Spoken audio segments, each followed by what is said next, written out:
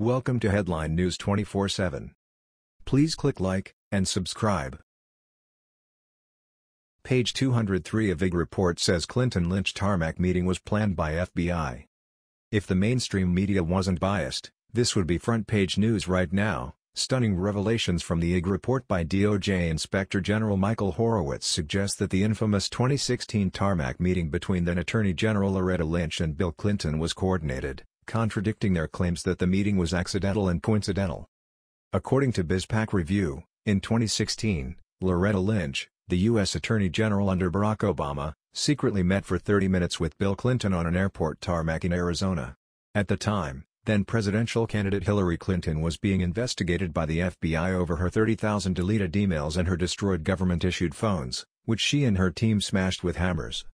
Several days after the tarmac meeting, the DOJ decided not to file any charges against Hillary Clinton for her unauthorized use of an unsecured, private email server to conduct sensitive government business and her mass deletion of 30,000 emails.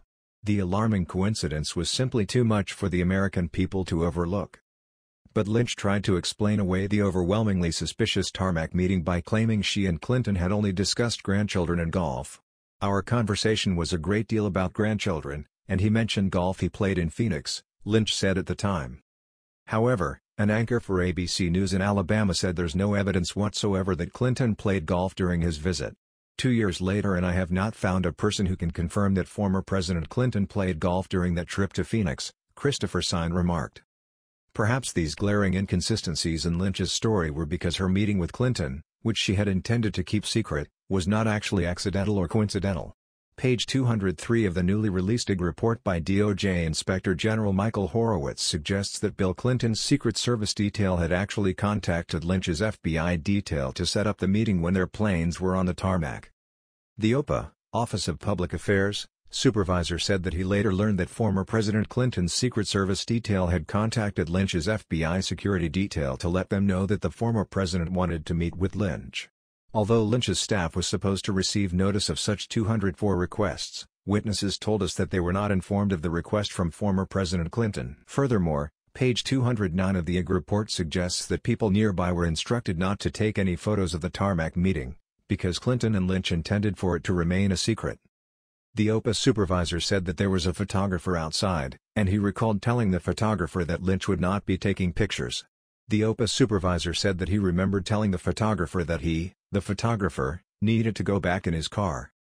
And page 210 of the IG report states that Lynch's senior counselor tried to warn her that the meeting with Clinton was a bad idea, as it was highly unethical, but Lynch apparently ignored the advice of her highest-ranking advisor and met with Clinton anyway.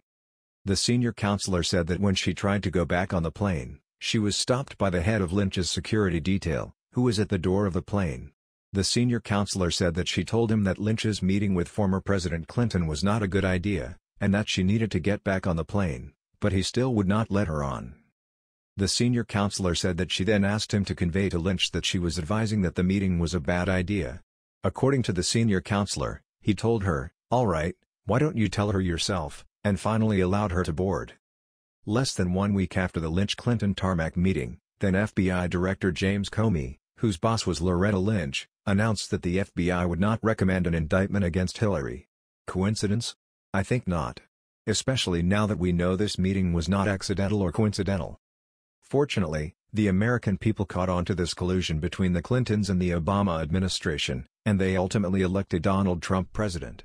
However, those responsible for this egregious breach of ethics should still be held accountable. These are people who, for years, have never been faced with any consequences, yet continued to climb higher and higher within the federal government. Meanwhile, average Americans are held to a completely different standard. Now, with President Donald Trump in office, we finally have an opportunity to change the status quo. That was the news. We thought you might be interested in knowing about this. Please click like and subscribe. Thank you.